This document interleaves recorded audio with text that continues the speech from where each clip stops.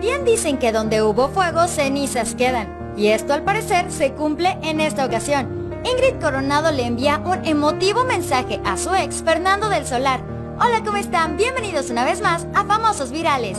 Ingrid Coronado rompió el silencio y por fin habla acerca de la salud de su ex Fernando del Solar. Cabe recordar que en los últimos días del 2019, Fernando del Solar tuvo que entrar a terapia intensiva ya que presentó un cuadro de neumonía.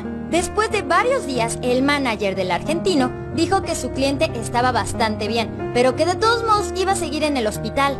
La conductora de televisión mencionó que espera que su ex esposo se encuentre mucho mejor y que esta ya sea la última vez que se encuentre en el hospital, ya que sus hijos lo quieren mucho y la verdad es que se preocupan bastante por él. Supuestamente Ingrid Coronado no pudo asistir al hospital ya que los padres de Fernando le tienen prohibido verlo. Imagínense a qué grado está esta relación. En el programa de primera mano, Gustavo Adolfo Infante mencionó que Ana María Alvarado, una muy amiga de Ingrid, le había contado que a ella no le tienen permitido ver a Fernando. En una entrevista para la revista Quién, Ingrid mencionó que sus tres hijos estuvieron enfermos y que por esa razón no pudieron visitar a su papá. Pero después, Paolo y Luciano pudieron tener un bello reencuentro con su padre. Ingrid mencionó a la revista Quién que sus hijos vieron muy bien a Fernando, que por eso también como que se les quita un poquito de preocupación. Así que ellos por su parte ya están felices tan solo de haberlo visto, a pesar de que está en el hospital. Yo creo que sí te quita un poquito la preocupación, pero yo siento que también sus hijos pues sí saben qué onda con su papá, ¿no?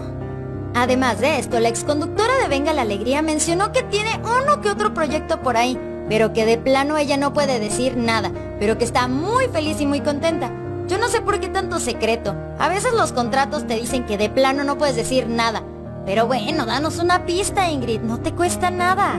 En esa misma entrevista, lo único que Ingrid pudo mencionar es que está haciendo lo que le gusta y que también está ayudando a las personas.